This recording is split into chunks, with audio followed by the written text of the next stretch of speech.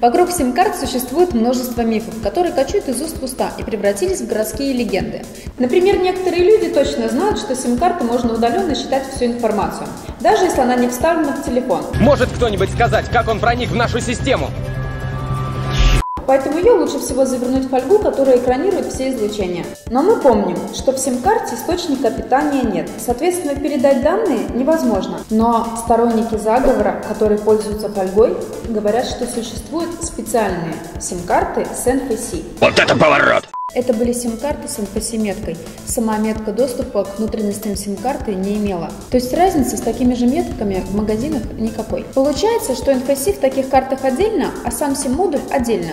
Это тот же самый сэндвич, как делают переделкины из сим-карты и карты памяти. Чтобы посмотреть, как сим-карта может пережить разные невзгоды, мы проделали ряд экспериментов. Но вначале расскажем о тех, как делают сэндвичи из сим-карт и карт памяти microSD для комбинированных слотов современных смартфонов.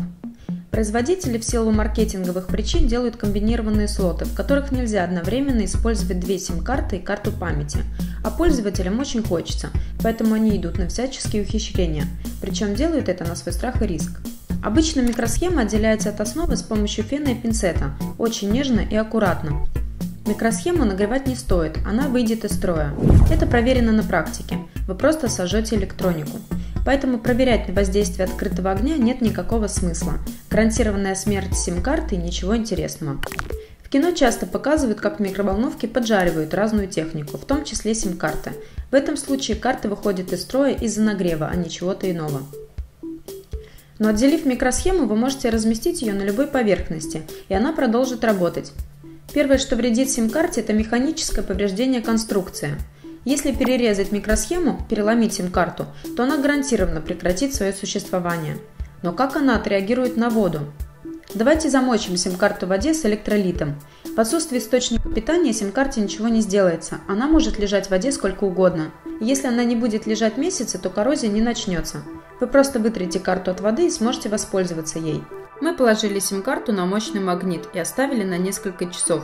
Несмотря на это, она работает, как ни в чем не бывало. Ровно та же история с тем, что ваша сим-карта может передавать ваши координаты спецслужбам, даже если она не вставлена в телефон.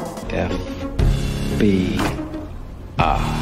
Это не так, у нее просто нет для этого возможностей.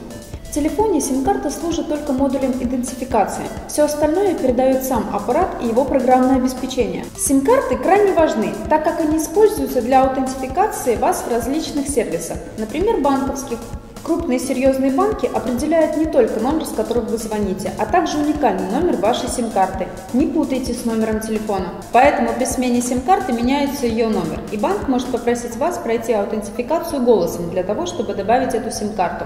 Это надежный и простой способ защиты ваших данных и ваших денег. В ближайшем будущем сим-карты станут виртуальными. Стандарт eSIM тестируется операторами по всему миру. Но нужно изменение законодательной базы, причем в каждой стране свой набор юридических проблем.